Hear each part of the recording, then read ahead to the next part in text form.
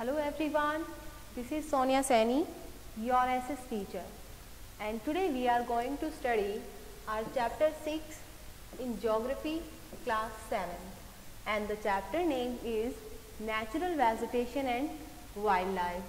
तो आज हमारे चैप्टर में हम डिस्कस करेंगे नेचुरल वेजिटेशन और वाइल्ड लाइफ के बारे में तो first of all we should know about what is natural vegetation natural vegetation क्या होती है जितने भी प्लांट्स हैं या जितने भी ट्रीज हैं, जो नेचुरली ग्रो होते हैं without any human interfere we call them natural vegetation और वाइल्ड लाइफ जितने भी एनिमल्स हैं बर्ड्स हैं, जो फॉरेस्ट में रहते हैं, वो किसमें इंक्लूड होते हैं? वो वाइल्ड लाइफ में. तो इन्हीं सब चीज़ों के बारे में डिटेल में हम आज के चैप्टर में डिस्कस करेंगे. तो आइए जानते हैं कौन कौन से टॉपिक्स हैं जिन्हें हम आज डिस्कस करने वाले हैं। So this is our content and we will discuss our first topic that is forest in this we will discuss about the tropical evergreen forest then tropical deciduous forest temperate evergreen forest then temperate deciduous forest Mediterranean vegetation then coniferous forest तो हमारे chapter को हम दो parts में complete करेंगे forest में और plus grassland में। तो ग्रासलैंड में हम क्या क्या चीज़ें देखेंगे? ट्रॉपिकल ग्रास ग्रासलैंड और टेम्परेट ग्रासलैंड प्लस हम इसमें एक चीज़ और एक्स्ट्रा करेंगे थॉर्नी बशेज ठीक है? इसमें हम डिस्कस करेंगे कि किन किन रीजन में ये चीज़ें पाई जाती हैं और इनको ग्रो होने के लिए किस तरह का क्लाइमेट सुटेबल रहता है। तो आइए स्टार्ट करते हैं हम हमारा चैप्टर तो चैप्टर के स्टार्टिंग में आपको एक स्टोरी दी हुई है इंट्रोडक्शन पार्ट में। ये एक स्टोरी दी हुई है आपको।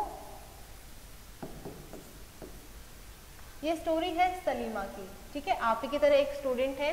जब इसका टूर जाता है तो वो अपनी स्टोरी को रिकॉल करते हुए बताती है, ठीक है? कि कैसे वो ट्रिप पे गई थी, मनाली। तो वहाँ पे इन्होंने क्या देखा था? कि इन्होंने देखा कि जैसे ये माउंटेन है और ये जो नीचे फुट हिल्स हैं, ठीक है? तो नीचे जो फुट हिल्स वाला एरिया था, यहाँ पे वेजिटेशन डिफरेंट थी। तो जैसे जैसे इनकी जो बस है, कार है, जिससे भी ये जाते हैं तो वो ऊपर माउंटेन में जाते हैं ये। तो वहाँ पे जो, जैसे इट मीन्स जैसे हाइट पे जाते हैं ये तो क्या हो जाती है वेजिटेशन डिफरेंट हो जाती है। और थोड़ा सा और ऊपर जाते हैं, फिर और वेजिटेशन डिफरेंट हो जाती है। तो इस तरह से वहाँ पे इनको फ्लावर्स भी अलग तरह के दिखाई देते हैं। ट्रीज भी अलग तरह से दिखाई देते हैं। और फिर जब ये ऊपर जाते हैं और ऊपर रोहतांग पासिस में, ठीक है, इस तरह से माउंटेन्स होते हैं, वहाँ पे बहुत सारे, जब वहाँ जाते हैं तो वहाँ पे इन्हें क्या दिखाई देते हैं? शॉर्ट ग्रासेस ठीक है छोटी छोटी घास दिखाई देती हैं, जो स्नो से कवर्ड है। तो ये सब चीज़ें किन फैक्टर्स पे डिपेंड करती हैं? जो इतने डिफरेंस हैं हमारे वेजिटेशन में तो कुछ फैक्टर्स होंगे और वो फैक्टर्स हैं हमारे these are and so we call them the growth of vegetation depend on the जो फ़र्स्ट फैक्टर है जिस पे डिपेंड होते हैं वो वो है हाइट ऑफ़ लैंड ठीक है? जैसे जैसे हम ऊपर जाएँगे फोर्थ हिल से तो जो वेजिटेशन है वो डिफरेंट होगी. प्लस क्लाइमेट तो अब नीचे क्लाइमेट अलग होता है. जैसे ही हम ऊपर जाते रहते हैं तो टेम्परेचर चेंज होता जा, जाता है। और क्लाइमेट क्या होते हैं जो क्लाइमेटिक कंडीशन होती है उस जगह की वो भी चेंज हो जाती हैं। तो एक ये भी फैक्टर है एक ये भी रीज़न है। नेचुरल जो वेजिटेशन है उनका डिफरेंट होने का चेंज होने का। जो नेक्स्ट फैक्टर है जो डिपेंड करता है that is temperature and moisture कि टेम्परेचर हॉट है कोल्ड है ठीक है? एयर में कितनी मॉइस्चर है कम है ज़्यादा है। These are also affect the growth of the natural vegetation फिर है it also depend on the factor of the slope ठीक है, कि जो सॉइल है, वो स्लोप में क्या है? मतलब स्लोप इस तरह से है तो कितनी सॉइल इकट्ठी हो रही है? अगर स्लोप ज़्यादा है तो सोयल की जो सोयल साथ में बह करके आएगी तो उसकी फर्टिलिटी भी कम हो जाएगी। ठीक है सोयल की थिकनेस क्या है? तो ये सारी चीज़ें मैटर करती हैं वहाँ पे वेजिटेशन को ग्रो होने में। The type and the thickness of natural vegetation vary from place to place because the variation in these factors तो इसीलिए जब हम देखते हैं अलग अलग जगहों पे हमें अलग अलग तरह की वेजिटेशन देखने को मिलती है, ठीक है? कहीं पे हमें किसी तरह के ट्रीज दिखाई देते हैं, किसी तरह के प्लांट्स दिखाई देते हैं डिफरेंट टाइप्स ऑफ़ फ्लावर्स दिखाई देते हैं just because of these factors तो हम अगर बात करते हैं नेचुरल वेजिटेशन की तो नेचुरल वेजिटेशन को हमने ब्रॉडली थ्री कैटेगरी में डिवाइड किया हुआ है ठीक है? तो फ़र्स्ट है फॉरेस्ट अब बाकी के जो कैटेगरी हैं वो हम नेक्स्ट पेज पे देखेंगे। उनके नेम जान लेते हैं अभी। ग्रासलैंड एंड शर्ब्स तो सबसे पहले हम फॉरेस्ट को जानते हैं। फॉरेस्ट क्या होते हैं? Which grows where temperature and rainfall are plentiful to support a tree cover. Depending upon these factors, dense and open forest are grown. तो फॉरेस्ट कहाँ होंगे? उन एरियाज़ में होंगे जहाँ पे जो उनको एक सुटेबल टेम्परेचर मिलेगा किसी भी ट्री को ग्रो करने के लिए। जो रेनफॉल होगी, वो सफिशेंट अमाउंट में होगी। रेनफॉल मीन्स ये जो हमारे प्लांट्स होते हैं, इनको ग्रो होने के लिए सफिशेंट अमाउंट में वाटर चाहिए। अच्छी खासी रेनफॉल होगी तो प्लांट्स इजीली ग्रो होंगे। टेम्परेचर जहाँ पे जो सन रेज है, अच्छी अमाउंट में पहुँचती होगी। ठीक है? तो इस तरह से ये चीज़ें जिन एरियाज़ में मिलेंगी, वहाँ पे हमें क्या देखने को मिलेंगे? वहाँ पे हमें फॉरेस्ट देखने को मिलेंगे। अब रेनफॉल प्लस टेम्परेचर ये दोनों चीज़ें अच्छी होंगी, ठीक है, या कम होंगी? तो ये क्या डिपेंड करते हैं? वहाँ पे किस तरह का फॉरेस्ट होगा? सपोज़ कोई एक ऐसी जगह है जहाँ पे टेम्परेचर अच्छा है, सूरज, जो सन रेज है वो अच्छी आ रही हैं प्लस रेनफॉल भी बहुत अच्छी क्वांटिटी में है तो वहाँ पे हमें कैसे फॉरेस्ट मिलेंगे? डेंस फॉरेस्ट जैसे यहाँ भी एक ट्री है, यहाँ भी ट्री है, यहाँ भी ट्री है, इस तरह से। अब वही बात करते हैं हम ओपन फॉरेस्ट ओपन फॉरेस्ट क्या होते हैं? ओपन फॉरेस्ट ऐसे होते हैं सपोज़ जैसे एक ट्री यहाँ पे है, फिर एक ट्री यहाँ पे है, एक ट्री यहाँ पे। इट मीन्स यहाँ पे स्पेस होता है ट्रीज के बीच में। ये होते हैं हमारे ओपन फॉरेस्ट अब चलते हैं हम नेक्स्ट स्लाइड में। नेक्स्ट पेज पे। हाँ जी। तो यहाँ पे जो सेकेंड टाइप की वेजिटेशन है ग्रासलैंड ग्रासलैंड क्या होते हैं? जो प्लेन लैंड में, जिस पार्ट में हमें ग्रास दिखाई देती है, ठीक है? दीज आर द ग्रासलैंड और ये कहाँ ग्रो होती हैं ये ग्रासेस ये ग्रो होती हैं जहाँ पे मॉडरेट रेन होती है, ठीक है? जहाँ पे रेन है वो मॉडरेट होती है, ये वहाँ पे ग्रो होती हैं। फिर है श्रब्स श्रब्स कहाँ होती हैं? Thorny shrubs and shrubs grow in the dry region dry region just like desert area ठीक है? जहाँ पे सन रेज ज़्यादा होती हैं वाटरफॉल इतना नहीं होता है, ठीक है? जैसे कि जो डेजर्ट एरिया होते हैं जिन कंट्रीज़ में ज़्यादा डेजर्ट रीजन है, ये हमें वहाँ पाई जाती हैं। जैसे कि जो झाड़ियाँ वगैरह होती हैं, उन वो सब डेजर्ट एरिया में पाई जाती है मोस्ट ऑफ़ द टाइम तो अब ये जो पूरी स्टोरी है, ये सलीमा अपने वर्ड्स में डिस्क्राइब कर रही होती हैं, ठीक है? ये आपको रीड करनी है। अब आते हैं हम मेन टॉपिक पे फॉरेस्ट इसमें हम डिस्कस करेंगे हमारे जितने भी डिफरेंट टाइप्स के फॉरेस्ट हैं उनके बारे में। तो सबसे पहले अब हम डिस्कस करेंगे ट्रॉपिकल एवरग्रीन फॉरेस्ट ठीक है? नेम से ही क्लियर है एवरग्रीन इट मीन्स हमेशा ग्रीन रहते हैं ये forest these forest are also called the tropical rain forest इनको ट्रॉपिकल रेन फॉरेस्ट भी कहा जाता है, ठीक है? तो यहाँ पे एक वर्ड आ रहा है ट्रॉपिकल इसका क्या मीनिंग है, इसको समझते हैं। ये अर्थ है इक्वेटर ज़ीरो डिग्री पे. ये ट्रॉपिक ऑफ़ कैंसर ये ट्रॉपिक ऑफ़ कैप्रिकॉन ठीक है तो अभी जो इसके बीच वाला रीजन है, ये क्या है? ये ट्रॉपिकल एरिया है। ठीक है? तो अब यहाँ पे क्या होती है? यहाँ पे ज़्यादा रेनफॉल होती है। इक्वेटर के क्लोज होने के कारण यहाँ पे रेनफॉल ज़्यादा होती है। यहाँ पे सनरेज भी अच्छी खासी आती है। तो इसीलिए ये जो फॉरेस्ट होते हैं, ये हमेशा ग्रीन रहते हैं। These region are hot and receive heavy rainfall throughout the year ज़्यादा क्यों होती है? क्योंकि ये इक्वेटर के पास होते हैं ये एरियाज़ जो बिल्कुल पास है इक्वेटर के, उनमें हमेशा क्या मिलेगी? ज़्यादा तो हॉट रहेंगे और ज़्यादा रेनफॉल रहेगी, जिसकी वजह से ये और ये पूरे साल ही ऐसे ही रहता है, इनकी जो रेनफॉल है वो चलती ही रहती हैं। And there is no particular dry season और यहाँ पे कोई भी एक ऐसा सीज़न नहीं है कि जब ड्राई सीज़न आता हो, ठीक है, जब बारिश ना होती हो, यहाँ कभी भी बारिश होना स्टार्ट हो जाती है। तो जिसकी वजह से जब इनको प्रॉपर अमाउंट में चीज़ें मिल रही हैं, है ना वाटर भी अच्छी खा अच्छा खासा मिल रहा है, और साथ में सनराइज भी अच्छी खासी मिल रही है तो इससे क्या होते हैं, ये हमेशा ग्रीन रहते हैं। किसी चीज़ की कमी है नहीं। तो इसीलिए इनको क्या कहते हैं? एवरग्रीन फॉरेस्ट और ये कभी भी अपनी जो लीव्स हैं, उनको शेड नहीं करते। मतलब अपनी पत्तियाँ कभी गिराते नहीं हैं ये फॉरेस्ट और ये पत्तियाँ क्यों नहीं गिराते हैं? उसका रीज़न ये है कि ये जो ट्रीज़ होते हैं, ये लीव्स कब गिराते हैं अपनी? कब शेड करते हैं? तब करते हैं क्योंकि जब इनको वाटर की रिक्वायरमेंट होती है, जब पानी की कमी होती है, तब करते हैं। ठीक है? तब भी क्यों करते हैं? तब भी इसीलिए करते हैं। ये जो लीव्स में स्टोमेटा होता है ना, ये सन रेज से ज़्यादा जो सन है वो इन लीव्स में उसको एब्जॉर्ब कर लेता है। तो इसीलिए लीव्स गिरा देते हैं ताकि ज़्यादा वाटर सन एब्जॉर्ब ना करें। तो एक ये रीज़न है, ये साइंटिफिक रीज़न है।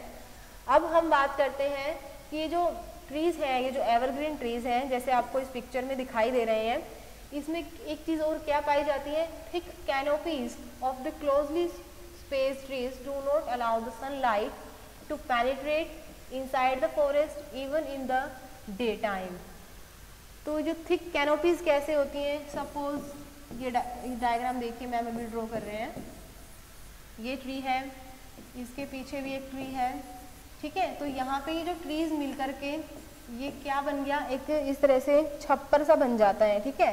तो जिससे जो सन की जो रेज है वो नीचे नहीं आने देता और नीचे बिल्कुल डार्कनेस रहती है फॉरेस्ट में। कभी आपने मूवीज़ में देखा होगा कि डे टाइम में भी क्या होते हैं तो ये जो इस तरह से कैनोपी बन जाती है ट्रीज से, वो ऊपर से कवर कर लेते हैं और डे टाइम में भी सन की रेज नहीं आ पाती, जिससे फॉरेस्ट में बिल्कुल डार्क रहता है। ठीक है? तो ये कैनोपी होती है। अब यहाँ पे कौन कौन से ट्रीज पाए जाते हैं? यहाँ पे जो ट्री पाए जाते हैं, उनमें हार्डवुड होते हैं। जैसे कि ट्रीज हैं रोजवुड इबोने और मैगोने कॉमनली ये ट्रीज यहाँ पे पाए जाते हैं। अब हम बात करेंगे नेक्स्ट फॉरेस्ट की that is tropical deciduous forest tropical deciduous forest in forest को हम क्या कहते हैं? मॉनसून फॉरेस्ट कहते हैं। और ये कहाँ पाए जाते हैं? Large part of the India India का जो मैक्सिमम पार्ट में ये फॉरेस्ट पाए जाते हैं plus northern Australia in Central America तो इंडिया के कौन से पार्ट में पाए जाते हैं? जैसे कि जो नॉर्थ ईस्ट है, उस पार्ट को छोड़ करके नॉर्थ के जो बाकी पार्ट हैं, वहाँ पे ये फॉरेस्ट पाए जाते हैं।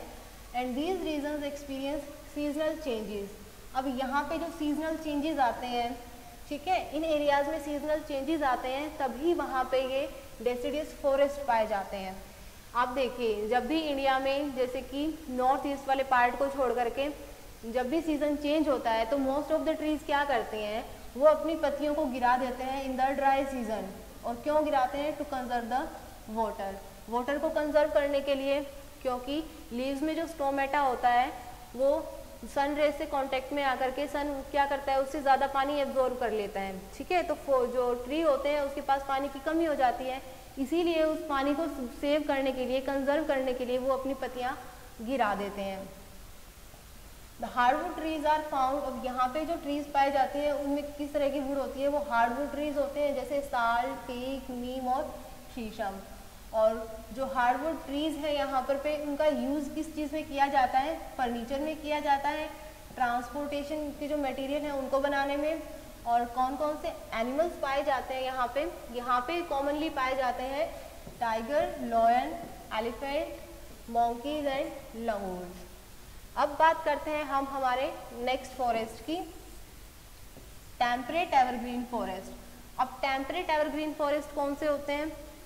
The temperate evergreen forest are located in the mid latitudinal coastal region ठीक है इसको समझने के लिए हम फिर से एक डायग्राम ड्रॉ करेंगे। ये है हमारी earth equator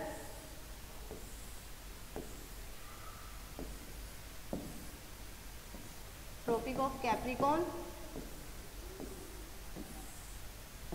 tropic of Cancer ठीक है? ये तो हो गया ट्रॉपिकल एरिया फाइन अब इसके ऊपर ये जो बीच वाला रीजन है, ये ये क्या है? मिड लैटिट्यूडनल रीजन है. ठीक है?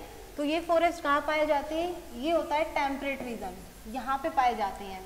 They are commonly found along the eastern margin of the continent तो इस मार्जिन में जो कॉन्टिनेंट आते हैं ना, उनके ईस्टर्न साइड में पाए जाते हैं। ठीक है? तो उनके नेम देखते हैं हम कौन कौन से हैं। जैसे south east of USA, south China, south east Brazil. तो ये जो कॉन्टिनेंट के नेम हैं, इनके ईस्ट डायरेक्शन में पाए जाते हैं। They compromise both hard and soft wood अब इन फॉरेस्ट में किस तरह की वुड मिलती है? हमें हार्ड प्लस सॉफ्ट दोनों तरह की मिलती हैं। तो यहाँ पे कौन कौन से ट्रीज पाए जाते हैं? यहाँ पे पाए जाते हैं ओक पाइन और यूकिलिप्टस ये कुछ ट्रीज के एग्ज़ाम्पल हैं, ये पाए जाते हैं, इनके अलावा भी और मिलते हैं।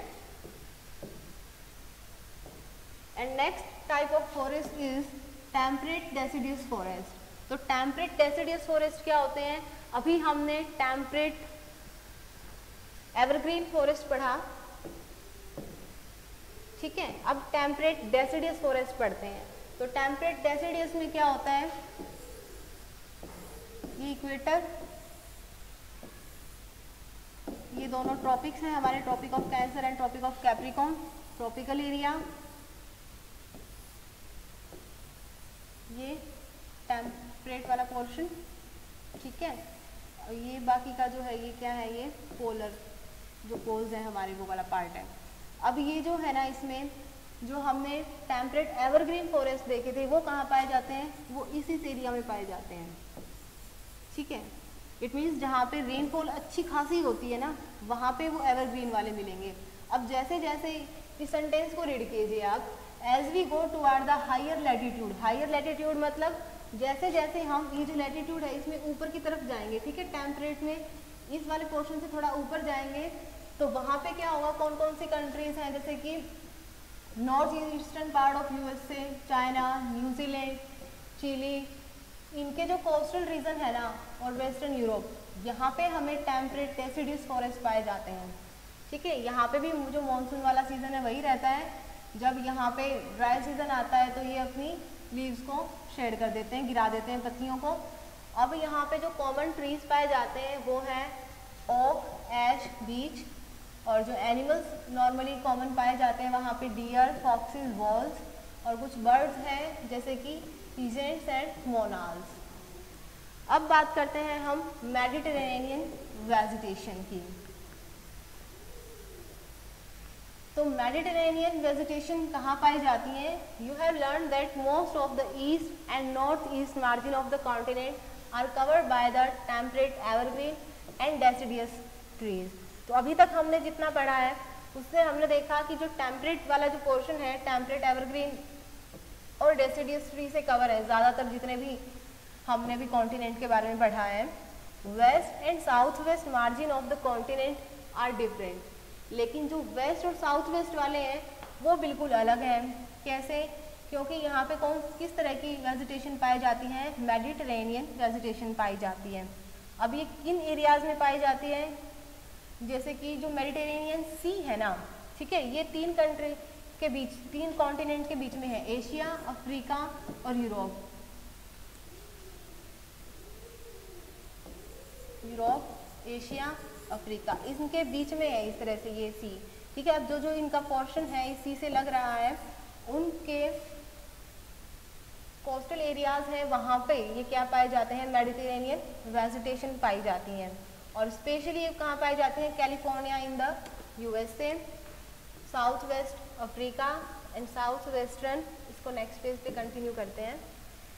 South America and south west Australia तो अब यहाँ पे क्या होता है कि जो these region are mark for for dry summers and mild rainy winters तो जहाँ पे सर्दियों में ज़्यादा गर्मी, गर्मियों में ज़्यादा गर्मी होती है और जो माइल्ड विंटर्स होती हैं, वहाँ पे माइल्ड रेन आती है। मतलब रेनफॉल हल्की हल्की होती है, किसी भी टाइम हो जाती है विंटर्स में। अब यहाँ पे जो भी हमें फ्रूट्स पाए जाते हैं लाइक सिट्रस फ्रूट्स मतलब जो खट्टे फ्रूट्स होते हैं ना, वो पाए जाते हैं, जैसे कि ऑरेंज ऑलिव ग्रेप्स कॉमनली यही पाए जाते हैं, क्योंकि ये जो क्लाइमेट है, वो इसी को कल्टीवेशन करने के लिए सुटेबल है। अब हम बात करें यहाँ पे वाइल्ड लाइफ की, ठीक है? तो जो वाइल्ड लाइफ है, यहाँ पे इतनी ज़्यादा नहीं है। क्यों नहीं है? क्योंकि अब इन रीजन में क्या है कि लोग टेम्परेट क्लाइमेट के पास ही है ये, ठीक है? सुटेबल है लोगों के सरवाइव करने के लिए। तो लोगों ने काट करके फार्म बना लिए, वहाँ पे रहने के लिए फार्म हाउस बना लिए। तो इसी वजह से यहाँ पे जो वाइल्ड लाइफ है वो ज़्यादा देखने को नहीं मिलती है। अब बात करते हैं हम कॉनीफेरस फॉरेस्ट के बारे में। कॉनीफेरस फॉरेस्ट ये टेम्परेट जो हमने जोन देखा था लेटीट्यूडनल मिड लेटीट्यूडनल उससे और ऊपर मिलेगा लेटीट्यूड में। देखते हैं, इसको देखते हैं अब ड्रॉ करके कहाँ मिलेगा हमें? ये equator tropic of Cancer tropic of Capricorn ये टॉपिक्स हो गए हमारे। ये जो टेम्परेट जोन है वो, ठीक है? इसको इस तरह से शेड कर दिया ताकि आइडेंटिफाई कर लेंगे हम इन्हें। अब ये जो बच गया, ये जो पोल्स के पास वाला, बिल्कुल ऊपर, ठीक है? ये जो पोल के पास वाला रीजन है ये यहाँ पे बात हो रही है ये, कि जितना हाइयर लेटीट्यूड हम जाएँगे ना, वहाँ पे हमें क्या मिलेगा? और स्पेशली ये किसमें मिलेंगे हमें? नॉर्दर्न में। ठीक है, यहाँ नहीं नॉर्दर्न में। तो वहाँ पे ये जो किस तरह के ट्रीज मिलेंगे, हमें फॉरेस्ट मिलेंगे कॉनीफेरस फॉरेस्ट मिलेंगे। ठीक है, अब इनको हम, और क्या बोलते हैं इन फॉरेस्ट को? टैगा बोलते हैं। अब हमें वहाँ पे कॉनीफेरस ट्रीज क्यों मिलेंगे? क्योंकि वहाँ पे ठंड इतनी होती है। ठीक है तो इसी वजह से हमें इस तरह के ट्रीज देखने को मिलते हैं। प्लस वहाँ पे जितना हायर लेटीट्यूड होगा, जैसे कि अगर हम बात करें जो सलीमा है, ये जब ट्रिप पे गई थी हिमालयाज तो वहाँ इसने देखा था कि जैसे जैसे ये ऊपर माउंटेन में जाते हैं, इनकी बस या कार जाती है तो वहाँ पे ट्रीज की शेप चेंज हो रही थी। ठीक है? तो ऐसे ही जो कॉनिफेरस ट्रीज क्या होते हैं, ये कौन शेप में होते हैं? जैसे आप देख सकते हो, यहाँ पे भी दिखाई दे रहा है इमेजेस में। तो ये इस तरह से दिखाई देते हैं। अब इनका यूज़ किसके लिए किया जाता है? इनका यूज़ किया जाता है जो इनके अंदर जो पल्प होता है ना, उसका यूज़ किया जाता है पेपर बनाने के लिए, न्यूज़ प्रिंट के लिए। और जैसे आपने देखा होगा, जो मैच बॉक्स होती हैं, उसमें जो माचिस की जो लकड़ी है, वो कितनी सॉफ्ट होती है तो वो सॉफ्ट वुड यूज़ किया जाता है। अब यहाँ पे और कौन से टाइप्स ऑफ़ पाए जाते हैं? ट्रीज चीज़ पाइन सिडार ये पाए जाते हैं।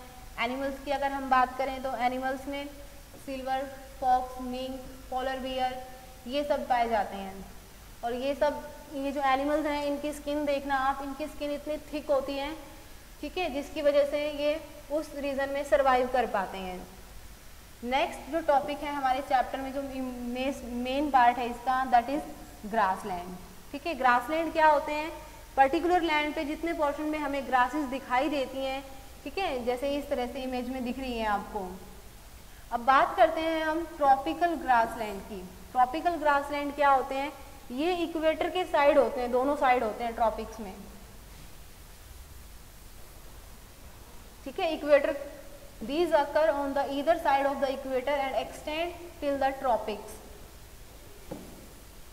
ये इक्वेटर और ये जो इसके ट्रॉपिक्स हैं, ये इन एरियाज़ में पाए जाते हैं। This vegetation grow in the areas of moderate to low amount of rainfall तो ये कहाँ, इस तरह की वेजिटेशन ग्रो होती है ग्रासेस ग्रो होती हैं, जहाँ पे टेम्परेचर कैसा होता है मॉडरेट होती, होता है और अमाउंट है वो कम भी हो सकती है, ठीक है? ऐसा तो है नहीं। इन एरियाज़ में जैसे हमने पढ़ा था ट्रॉपिकल एवरग्रीन फॉरेस्ट में जब बारिश होती है तो सभी जगह इक्वल होती है। कई जगहों पे कम भी होती है, कई जगहों पे ज़्यादा होती है तो जिन जगहों पे कम होती है, उन जगहों पे हमें इस तरह की ग्रासलैंड देखने को मिलती है। अब ये जो इनकी हाइट की बात करते हैं हम इन ग्रासेस की हाइट हमें मिलेगी three to four metre height होती है, ठीक है? और वहीं जब हम बात करते हैं अफ्रीका में जो ग्रासलैंड है, वो किस, जो स्वाना ग्रासलैंड है, वो किस टाइप का है वो? ट्रॉपिकल ग्रासलैंड है। अब इनमें जो कॉमन जो एनिमल्स हैं, वो हमें देखने को मिलते हैं like elephant zebras giraffe deer leopards ठीक है? ये कुछ एनिमल्स हैं जो हमें इस तरह के ग्रासलैंड में देखने को मिलते हैं। एग्ज़ाम्पल के लिए मैम आपको बताते हैं जब आप डिस्कवरी चैनल देखोगे ठीक है या फिर नेशनल जोग्राफी चैनल देखते हो तो वहाँ पे ध्यान से देखना जब भी वो सीन दिखाते हैं कि वो आ, आ, जो शेर है वो किसी दूसरे एनिमल पर अटैक करने वाला है तो इस तरह की कुछ ग्रासेस दिखाई जाती हैं जिसमें से वो जो लॉयन है वो छिपा रहता है फिर अचानक से आकर उन एनिमल्स पे अटैक करता है। अब आते हैं नेक्स्ट ग्रासलैंड है हमारी temperate grassland these are found in the mid latitudinal zone ठीक है, ये कहाँ पाई जाती हैं? मिड लैटिट्यूडनल अभी हमने पीछे देखा था डायग्राम की हेल्प से। वहीं पाई जाती है plus interior part of the continent और जो उसके आसपास जो कॉन्टिनेंट हैं, उनके कुछ अंदर वाले हिस्सों में भी पाई जाती हैं। अब ये क्या होती है किस तरह की होती है? ये शॉर्ट होती हैं, ठीक है? जैसे ये जो पीछे वाली ग्रासलैंड थी, इनकी हाइट हमने कितनी देखी? थ्री टू फोर लेकिन इनकी हाइट इतनी नहीं होती। ये शॉर्ट होती हैं प्लस न्यूट्रिशियस होती हैं। ठीक है न्यूट्रिशियस इन द सेंस कि जो एनिमल्स हैं, जो भी इन्हें ईट कर रहे हैं, उनके लिए काफ़ी हेल्दी होती हैं। तो इसी तरह से वहाँ पे जो लोग रह रहे होते हैं, जो एनिमल्स को रियर करते हैं, जिन्होंने फार्म हाउस ओपन किए होते हैं तो उनके बिहाफ पे इनको न्यूट्रिशियस कहा गया है। तो जिस तरह से जो एनिमल्स हैं, वहाँ पे जो कॉमनली लोग पालते हैं, जैसे वाइल्ड बुलॉग्स बीजन्स एंटीलॉप्स ये वहाँ पे हमें देखने को मिलते हैं। अब जो नेक्स्ट टॉपिक है हमारा that is thorny bushes these are found in the dry desert like regions ठीक है, ये कहाँ पाए जाते हैं? ये बिल्कुल जहाँ पे डेजर्ट एरिया होता है, वहाँ पे हमें इस तरह की बुशेज देखने को मिलती हैं। तो मेनली कहाँ मिलती हैं? हमें tropical deserts are located on the western margin of the continent तो जितने कॉन्टिनेंट्स हैं ना वेस्टर्न मार्जिन उन एरियाज़ में जो ट्रॉपिकल डेजर्ट हैं, ये वहाँ पाए जाते हैं। Vegetation grow is scarce here because of scanty rain and scorching heat तो यहाँ पे जो वेजिटेशन है, वो हमें बहुत कम देखने को मिलती है डेजर्ट एरिया में। क्यों? क्योंकि यहाँ पे जो सन की रेज होती है, वो काफ़ी ज़्यादा तेज़ होती है स्क्रॉचिंग हीट मतलब बिल्कुल जला देने वाली। और स्कैंटी रेन मतलब बहुत कम बारिश होती है। तो इसी वजह से क्या होता है कि ये यहाँ पे जैसे हम झाड़ियों की बात करते हैं ना तो वो इन्हीं एरियाज़ में पाई जाती है मोस्टली फिर जो दूसरी वेजिटेशन है जिनकी हम बात करते हैं, वो है टुंड्रा वेजिटेशन। ठीक है? टुंड्रा वेजिटेशन क्या होती है? ये पाई जाती है एक्सट्रीमली कोल्ड एरियाज़ में। जैसे यहाँ देखिए आप, इक्वेटर, ये ट्रॉपिक्स, यहाँ पे ये ये तो ट्रॉपिकल एरिया हो गया, ये टेम्परेट वाला हो गया, ठीक है? अब बिल्कुल पोलर एरियाज़ में, पोल के पास, ठीक है? जो पोल के पास है ना, बिल्कुल यहाँ पे वेजिटेशन होती है टुंड्रा वेजिटेशन होती है ये। ठीक है एक्सट्रीमली कोल्ड लिखा हुआ है ना? तो यहाँ पे जो रीजन होते हैं, काफ़ी एक्सट्रीमली कोल्ड होते हैं। अब यहाँ पे क्या मिलता है हमें? मॉसेस लिकन्स ठीक है श्रब्स ये देखने को मिलती हैं। जैसे काई वगैरह होती हैं, बिल्कुल ग्रीन ग्रीन बिल्कुल उसके साथ लगी रहती हैं लैंड को बिल्कुल टच करते हुए। And it grows during very short summer अब ये कब ग्रो होती है, ये छोटी मोटी ये जो मॉसेस लेकिन हैं ये भी ग्रो होती हैं, तब वहाँ पे जब सीज़न चेंज होता है, जब वहाँ पे समर सीज़न आता है तब, क्योंकि आइस वगैरह इतनी होती है, सब कुछ फ्रीज होता है, तब जब समर सीज़न आता है तो आइस मेल्ट होती है और फिर ये वेजिटेशन ग्रो होती है। ठीक है? इसमें जैसे कि पोलर एरियाज़ में, जैसे यूरोप एशिया और नॉर्थ अमेरिका अब यहाँ पे जो एनिमल्स पाए जाते हैं, उनकी स्किन कैसी होती है? Thick fur and thick skin होती है, ताकि वो इतने कोल्ड क्लाइमेटिक में अपने आप को सेव कर सकें। तो यहाँ पे देखिए वायरलेस पोलर बियल सील इन सब की स्किन देखिए आप कितने थिक हैं। ठीक है तो इस तरह से ये एनिमल्स वहाँ पे पाए जाते हैं। तो स्टूडेंट्स ये था हमारा चैप्टर सिक्स जियोग्राफी में। आई होप आपको समझ आया होगा। फिर भी आपको कोई डाउट है तो आप मुझसे पूछ सकते